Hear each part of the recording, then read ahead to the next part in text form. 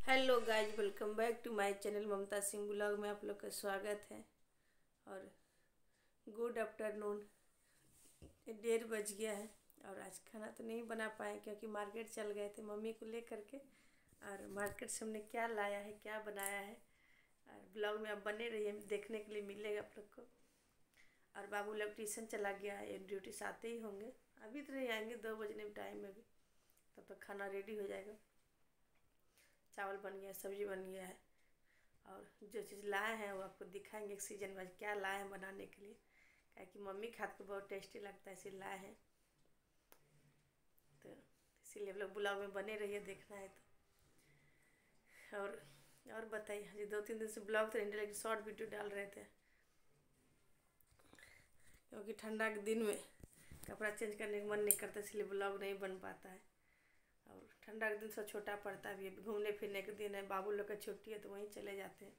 फिर आज फिर हम लोग जाने वाले हैं थीम पार्क तो देखेंगे वीडियो शूट कर पाएँगे तो आप लोग दिखाएँगे वहाँ का लुक कैसा लग रहा है। क्योंकि बाबू बहुत जिद कर रहा है, इसीलिए दोनों को ट्यूशन अभी भेज दिए हैं।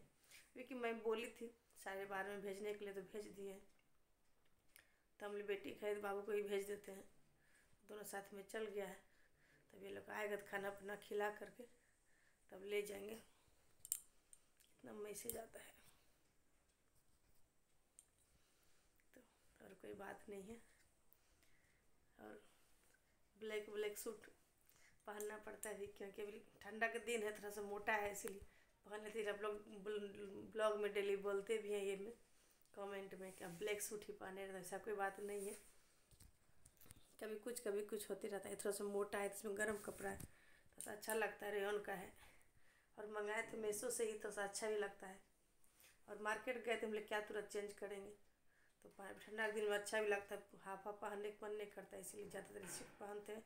जो भारी भारी थोड़ा सा मोटा है, बड़ा लहू से इसका बाजू बड़ा है, इसीलिए पहन लेते हैं। अच्छा लगता है।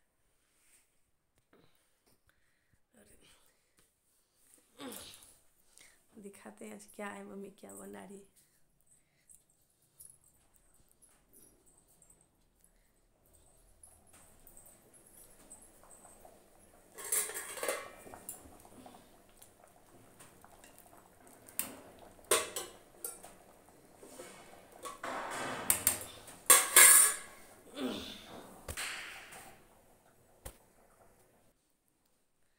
कोई बात नहीं है।